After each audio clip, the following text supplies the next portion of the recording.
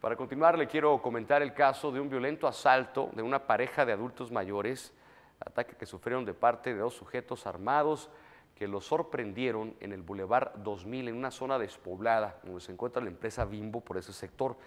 Se trata de Elizabeth, de 61 años, y Francisco, de 56.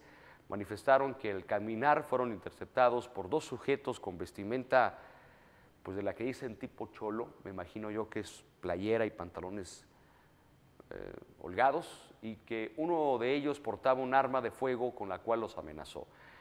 Lo despojaron de una bolsa de mano, la cual contenía documentos personales, un celular y 60 pesos.